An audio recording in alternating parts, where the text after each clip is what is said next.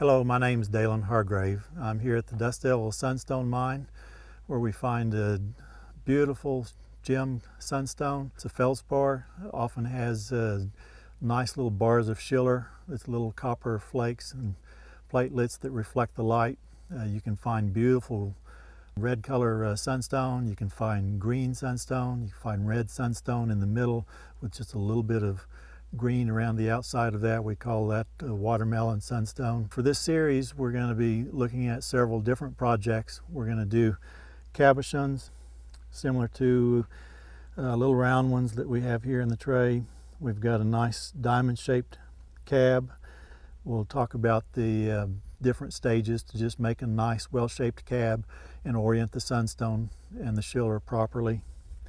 Then we'll actually do a little free shaped carving where we have just a few graceful lines, a very simple carving that anybody can do in their shop with minimal equipment. And we'll once again talk about how to orient that in that project, orient the schiller and orient the color so that it faces up properly.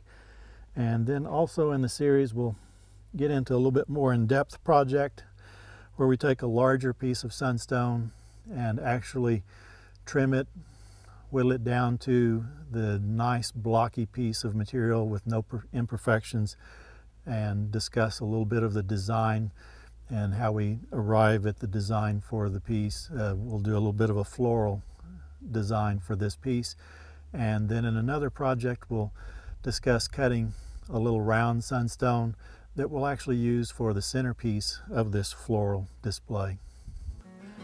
This is a, a, rare privilege to be able to carve one this size. And uh, I'm looking forward to taking this back to the studio and see what we can make of this. Hopefully we'll make a treasure that somebody can pass on from generation to generation.